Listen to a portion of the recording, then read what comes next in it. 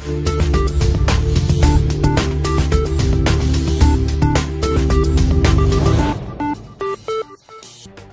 P O Sheikhupura Ehsan Saifullah की खसूसी हिदायत पर थाना फैक्ट्री एरिया की हदूद में D S P Ferozewala Imran Abbas Chadhar की निगरानी में जराइम पेशा अफराद के खिलाफ सर्च ऑपरेशन।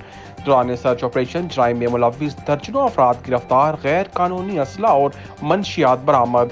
दो रिकॉर्ड याफ्ता, जुनेद उर्फ़ चाँद और अली हैदर नामी मुलजमान को हरासत में ले लिया गया।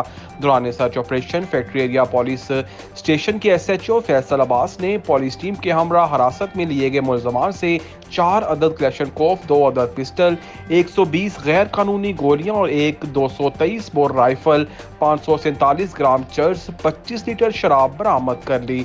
सर्च ऑपरेशन करने पर डीपीओ शेखपुरा एहसन सैफुल्ला की पुलिस टीम को शाबाश इलाके को अमन का गहवारा बनाने का अज़म जराइम का खात्मा अवलिन तरजीहत में शामिल है।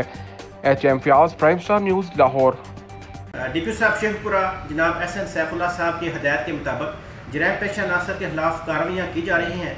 इसी सिलसिला में गुजशत रात इलाका थाना फैक्ट्री एरिया में पुलिस की बारी नफरी के साथ, जिसमें अलीट और डिस्ट्रिक्ट की नफरी शामिल थी, सर्च ऑपरेशन कंडक्ट किया गया, जिसमें दर्जनों सबका रिकॉर्ड याफ्तगान के खिलाफ कार्रवाई की गई, उन पर रेड किए गए।